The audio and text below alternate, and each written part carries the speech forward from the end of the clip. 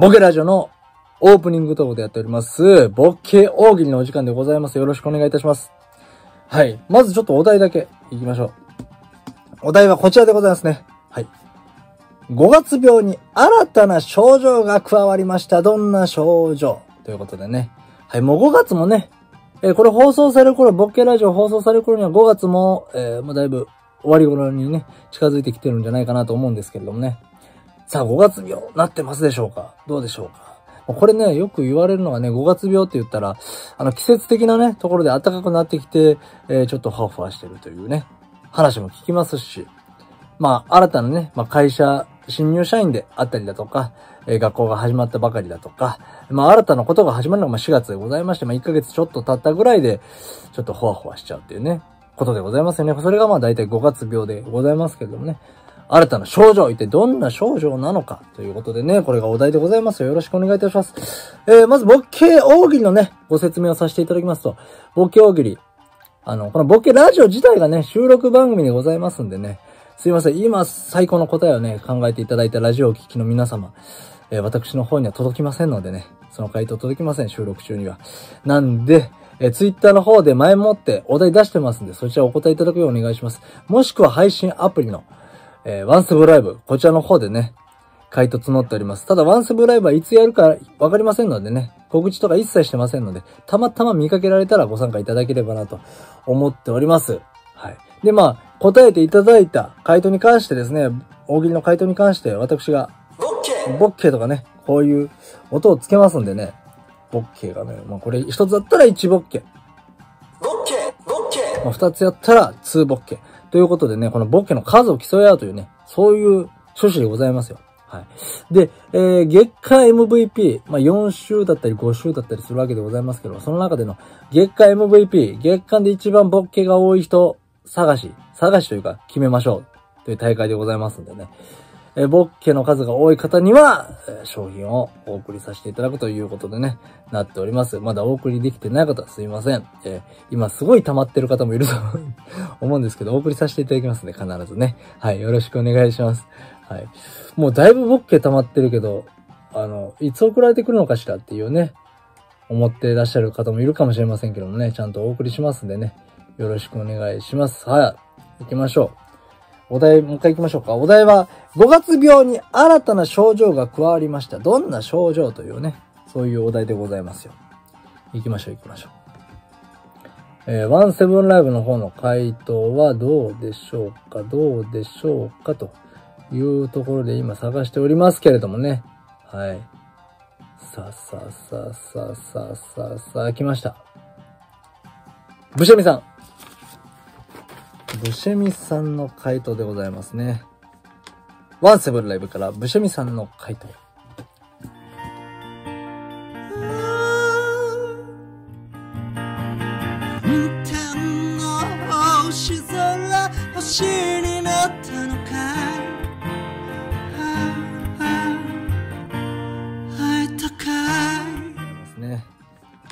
ワンセブンライブからブシェミさんの回答。5月病に新たな症状が加わりました。どんな症状？ハエがたかる。ボッケボッケツーボッケでございます。いや、スリーボッケ。ね。えっ、ー、と、すみません。収録が始まる前にね、ちょっとハエの話をなんかしてて、ハエ男がなんちゃら、ハエ男っていう映画があるぞみたいなね。岡崎ハエ男っていう映画見たことないんでちょっとわからないんですけれども、まあそういう話やら、ハエが何やらかんや言ってたから、ハエがたかるっていう回答が出てきたかと思うんですけど、普通の回答としてもちょっと面白いなと思いました。えー、どんな症状ハエがたかるって、もう死んでんちゃうかなって、死にかけ的なね、ところも。人が死ぬとなんかハエが寄ってくるみたいなね、なんか映画とかそういうので見たことありますんでね、なんかそういう意味合いも感じますけれどもね。はい、行きましょうか。ツイッターから、ブッチョアンさん。回答いただいております。ブッチョアンさんの回答でございます。5月病に新たな症状が加わりました。どんな症状？暗い服や地味な服しか買わない。すりぼけでございます。これね、なんか5月病、ツボッケだったかなまあ、スリボッケ。うん。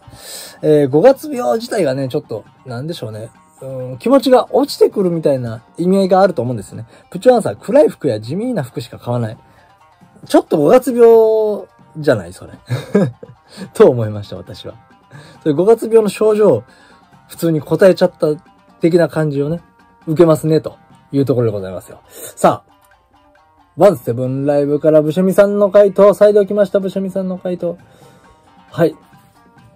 5月病に新たな症状が加わりました。どんな症状？仕事したくないと思いきや、6月からクビになっていた。すりボケです。紛れもなくすりボケでございます。えー、もう5月の段階で6月のクビが確定案件でございますかね、これね。えー、仕事したくないと思いきや、もう、クビでしたと。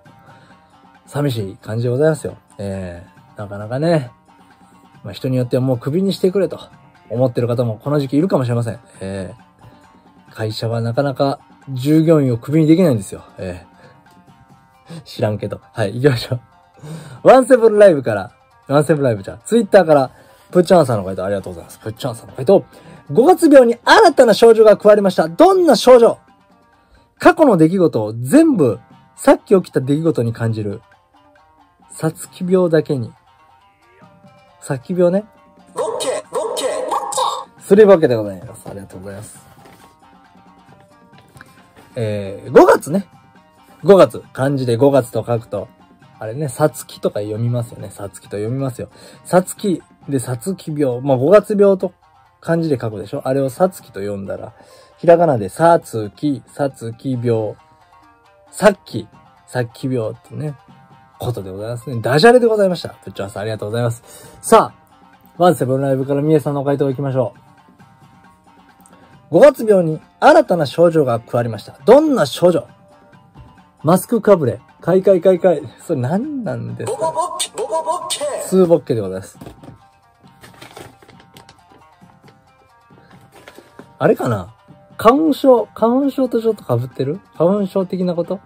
マスクで被れてかいかいっていうことですかね。さあ行きましょう。ツイッターから、小次郎さん、ありがとうございます。お久しぶりの回答じゃないですかね、小次郎さん。さあ、小次郎さんの回答。5月病に新たな症状が加わりました。どんな症状？恋の病？ボッケ、ボッケ、ボッケ。するわけでございます。いや、5月病言うてるのは恋の病じゃないんじゃないかなと思ったりもするんですけどね、これ。恋の病、はてなですよ、最後。いや、答えてくれということでございますよ。あの、こちらに問われても困ります。え、大喜利の回答してほしいんで。さあ、ツイッター、あ、ワンセブライブ。どうでしょうどうでしょうどうでしょうあ、え、えっ、ー、と、ブシュミさんがタバコ買いに行ってくると。はい。行ってらっしゃい。リアルタイムでございますからね。さあ、ワンセブンライブから皆さんの回答。5月病に新たな症状が加わりました。どんな症状？そもそも5月が国の決まりでなくなり、1月、2月、3月、4月、6月、7月、8月、9月、10月、11月、12月が基本になりました。5月はないですってことボッケ、ボッケ。ーボッケでございます。いや、そんな、5月なくなっても3月から4月もなかなかの出来事でございますよ。なんかね、マンションとかね、ありますよね。あの、4はね、不吉な数字、死を連想するっていうことがあるんで、例えば101、102、103、104はなし、105、106みたいなね、こととかありますよね。うちもね、だいたいマンション住んでますけど、だいたい4号室ないんちゃう ?104 号室、204号室、304号室はないかな多分。今までの経験上ね。っていう4月がないやったらわかるけど、5月ないってどういうことや。はい。困りますよ。国民的にはあの、ゴールデンウィーク祝日がいっぱいある月なのに、そこなくなるとちょっともう辛いですね。さあ行きましょう。ツイッターからプッチョアーンさんの回答行きましょう。5月病に新たな症状が加わりました。どんな症状？ネット風呂の前で押すなよ絶対に押すなよと言ってる人がいると、ついつい押してしまう。ボッケボッケ。スボッケです。それダチョウ倶楽部さんですね。えー、症状とかじゃなくてダチョウ倶楽部さんですね。定番の。定番ギャグでございますよ。はい。ワンセブライブからブシャミさんの回答いきましょう。5月病に新たな症状が加わりました。どんな症状ノイローゼかと思いきや、実は死んでたでしょ。実は P でしたね。はい。やめてください。えー、まあ、それぐらいはね、言ってもいいかなという。お笑いですから。な、何ボッケやったっけ？スリボッケやったっけ？スリボッケ。はい。ノイローゼかと思いきや、実は B でしたね。はい。行きましょう。どういう回答や？プチャーさん、えー、ツイッターからプチャーさんの回答。5月病に新たな症状が加わりました。どんな症状？クリスマスケーキを探して、ケーキ屋をはしごする。それボケです。もう記憶障害ですよ、だいぶ。えー、それかもう、もうだいぶ先走っちゃってる。えー、6月の段階でね、あ、これ6月じゃが、5月の段階で、えー、7ヶ月先の12月の心配をして、ケーキを探してるというね。だいぶ心配性でございますよ。はい。充電するの忘れてた。はい。ピコって言っちゃいました。失礼しました。さあさあさあさあ。ツイッターは、あ、ツイッター、ラストですね。ラストの回答になってますんで、ここでそろそろ締め切りとさせていただきましょう。えー、っと、ツイッターから、ブシェミさんは読んだね、これね。はい。皆さんの回答行きましょう。回答ちゃうな、これ。あ、回答か。行きましょう。ツイッターから、あ、ワンセブライブから皆さんの回答。5月病に新たな症状が加わりました。どんな症状？体が宙に浮く、地べたに足がつかなくなる。どういうことや？体が宙に浮く。地べたに足がつかなくなる。オッケーそれは何なんですか？まあ、何なんですかっていう回答でもいいんですけど、大丈夫ですよ。大喜利なんで自由でございますよ。さあ、えーと、ツイッターからプッチャーさんの回答。5月病に新たな症状が加わりました。どんな症状？匂いで土の中のトリュフがわかる。すりボケでございます。すりボケでね。はい。え、も症状というか、これ豚がやることですよね。えどこでしたっけ？あの、フランスですか？トリュフを探すんですよね。トリュフは山の中かどこかで、えー、豚が歩き回って土の中をね、匂って、その匂いで、えー、トリュフがわかる。ここ掘れワンワン法みたいな感じですよね。はい。これもよくわからん回答でございますけれども。さあ。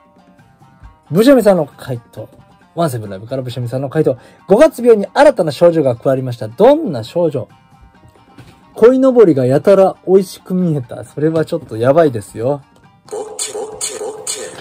確かにね、5月にしっかりと鯉のぼりは揺れてますよ。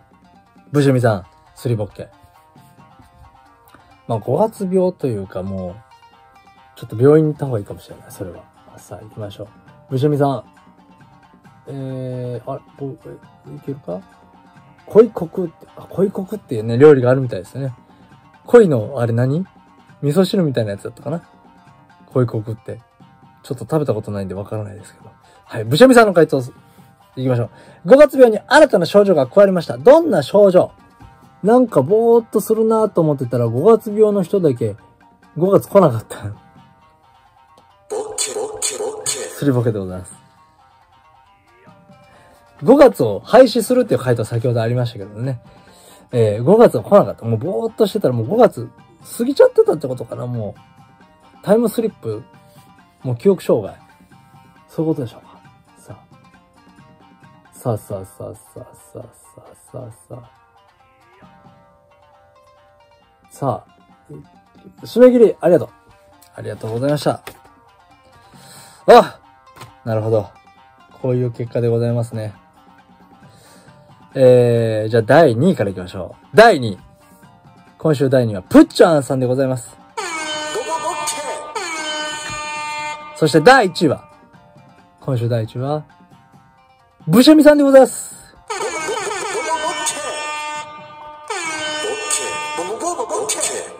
はい。ありがとうございます。ボッケ大喜利こんな感じでございます。また来週じゃなくて、今から、これオープニング動画でした。え今から始まります。それでは、ボッケラジオ、スタートです